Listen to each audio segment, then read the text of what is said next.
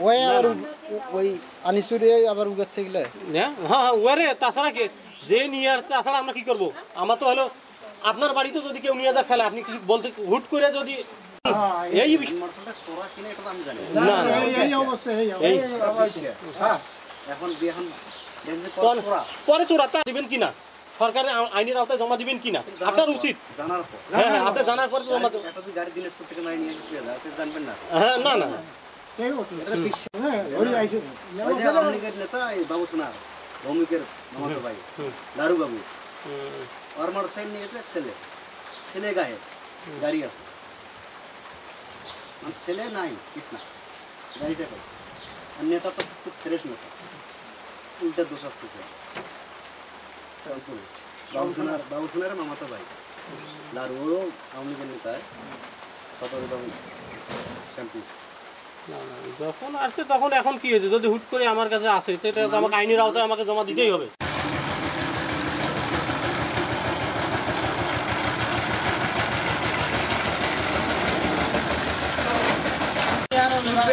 আবার এলে তুলবে কাক নিয়ে এবার আরে গাড়িটা হামরা তুলি দিন তখন। ও। এদিকে কেন এরকম করি জানাই দেওয়া হয়েছে এই ব্যাপারে। তো জানি তো গাছ কি ঘটনাটা? না আমি তো রাত্রে তো প্যারাবি পড়ি আসি আমি খুশি। তখন আমি দেখি যে গাড়ির একটা শব্দ।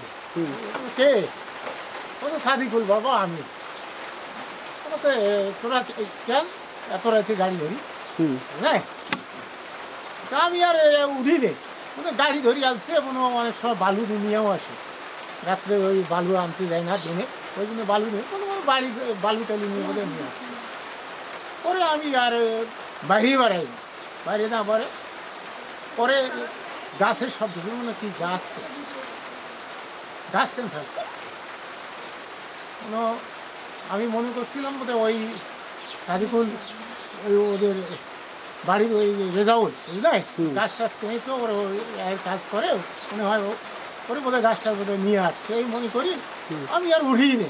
না উঠি আছে মনে গাছ আছে আছে। সকালে আমি দেখিনি গাছ আছে মনে হয় ও- ওরে গাছ।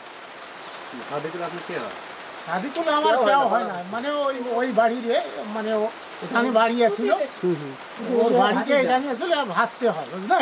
ওরা প্রায় চলি প্রায় পনেরো বিশ পনেরো বিশ বছর আগে ওরা চলে গেছে ওই হরিয়ে। বুঝলিয়া হরিয়ে। ওইখান থেকে আছে গাছ ওইখান থেকে নিয়ে আসে মানে কাটে নিয়ে আসে আপনার এখানেই রাখছে এটাই। হ্যাঁ হ্যাঁ। কখন রাখছে এটা? রাত কটায়? রাত প্রতি তখন দেড়টার রাত দেড়- দেড়টার দিকে মানে এই যে গাছ যে রাখলি তারপর আপনার কাছে জানতে পারলেন কিছু? গাছটা কোন থাকা গাছটা কোন থাকার? বা কোথা থেকে নিয়ে আসলো? আমরা আমরা আমরা মনে করি জানতে পারছেন না আমরা পরে আমরা গাছগুলো জানতে রাখি যাওয়ার পর পরের দিন সকালবেলা জানতে পারেন না গাছগুলো কোথাকার। বাবার গাছ না রাস্তার গাছ না সরকারি গাছ না বাগানের গাছ।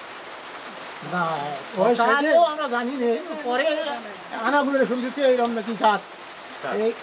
এরা গাছ কাঠিগুলো যেটাকে রাখি গেছে ওটা এখন এটা এটা গাছে মানে রাস্তার গাছ নাকি আমি যে রাস্তায় ওখানে ওই দুধ করছিল রাস্তায় দাঁড়ে সেই রাস্তার গাছ কাটিয়ে আনছে তারা গেছে কাটি এখন কি কোনো ফোন নাম্বার আছে তার সাথে যোগাযোগ করার আমার কাছে ফোন হয়নি